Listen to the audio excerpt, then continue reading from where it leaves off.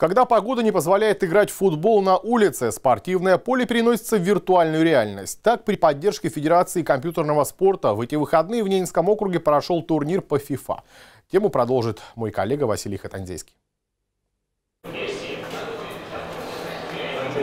Под речь комментаторов в напряженной борьбе за призовые места в компьютерном клубе Boom Place прошел турнир по FIFA 2021. Сегодня у нас проходит второй день э, турнира по FIFA 2021. Это уже второй турнир по данному виду спорта в, нашем городе. Вот. На турнир э, участвовало 25 человек.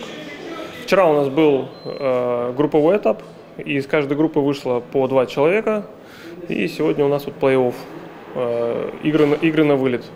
Данный вид спорта активно набирает обороты популярности в нашем регионе. На сегодняшний день Федерация киберспорта достаточно часто проводит компьютерные турниры по разным направлениям.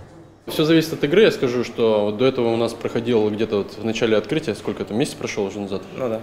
Вот, проходил турнир по CSGO. Конечно же, активность была выше. Всех желающих принять не удалось. То есть там было 16 команд? 28 заявившихся да, и 16 16 прошли. То есть мы собирали 16 команд, и заявилось 28, то есть в команде 5 человек.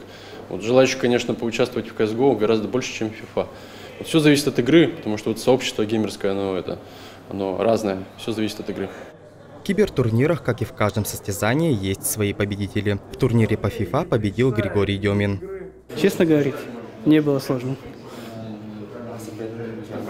Хорошие соперники разного типа, и, и маленькие, и вот 38 э, лет в финале мужику. Ближайший чемпионат по киберспорту пройдет уже 12 июня. Подробную информацию можно узнать на официальной страничке киберклуба. Василий Хатанзийский, Антон Выдряков, телеканал «Север».